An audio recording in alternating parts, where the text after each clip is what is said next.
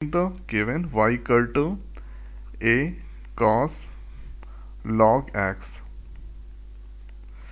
And then after b and here sine log x. So this is the given. So first here I'm going to do the differentiation with respect to x. So here dy by dx and uh, this is equal to y1 and uh, doing the differentiation. So first is here differentiation of cos x so cos and log x and here dx. Then after b and here d sine log x divide by dx. So doing the differentiation with respect to x. So here a and cos differentiation that is equal to minus sine log x and log x differentiation 1 by x. Then after b and here sine differentiation that is equal to cos and cos log x and log x differentiation 1 by x. So now you can see here x square y2 and x y1 okay so now I'm going to write here or this all. So minus and this is here sine x sine log x divided by x. And then after here b cos log x divided by x. This is here y1 so we need to get here x y1 so now doing the cross multiplication so here I'm getting x y1 equal to minus a. And here sine log x and b cos log x. So this is the differentiation I am getting here x y1 and now we need to get uh, uh, y2 okay so x uh, y2 we need to get so doing the differentiation again with respect to x. So doing the differentiation so dx y1 divided by dx and here d and minus a sine log x plus b and here cos log x divided by dx. So here uh, u into v this is the form. So there is the rule that I'm going to write so if you get here u into v or uh, form differentiation. So write to write here v do the differentiation of u. Then write u do the differentiation of v. So this we need to follow. So writing here x doing the differentiation of y1 so d y1 divided by dx. Then after writing y1 doing the differentiation of x so x differentiation we need to do. Then after here doing the differentiation of this one.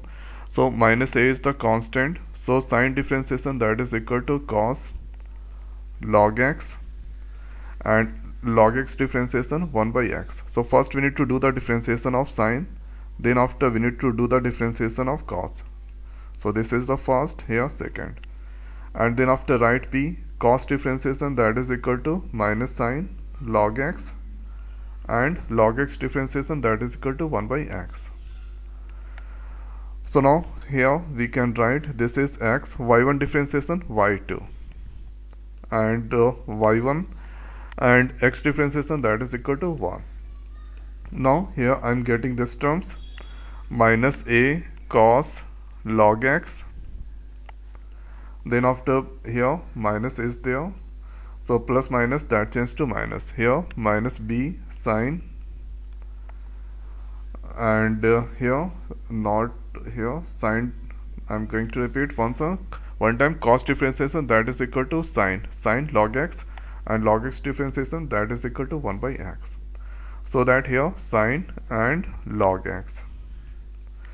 So in the denominator here x here x. Now let's uh, multiply this x if I multiply x then I'm getting x square there. So now doing the cross multiplication so this uh, multiply with the x. So x into x that is x square y 1 and this now x y 1 then after here minus a cos log x. Then after minus sine log x and after that here you can see this here x square y2 plus x square y1 plus y equal to 0 okay so now here taking LHS left hand side. So on the left hand side x square so here x square y this is here y2 is there. So y2 x y1 plus uh, y equal to 0 so here y. So now let's put the value of this uh, x x square y2 this all. So here minus a and cos log x. Then after here minus b uh, sine log x so this is here x square y2 plus x y1 values this all. And then after y is now a cos log x. Okay so y is now a cos log x a cos and here log x. And the next is b sine log x. B sine log x so this is the value of uh, this terms value is this one so I directly written this and y value that is this one so now a cos log x plus minus plus minus that cancel and here that comes 0 so this is now 0 and on the RHS you can see 0 is there so here we can write LHS equal to RHS equal to 0. This proved. So this is the way we can do the or differentiation and uh, prove the question. So write the given, do the differentiation with respect to x. So here this is the differentiation and uh, dy by dx equal to y1 do the cross multiplication then we can get x y1 and again doing the differentiation. So here first sine differentiation inside sine log differentiation. So this is the differentiation and uh, after that uh, doing the differentiation getting these terms. And put the values do the calculation then you can get 0 so this is the way. So i hope guys this video is the helpful for you. So now in this video it's over. So thanks for watching. See you next video. Thank you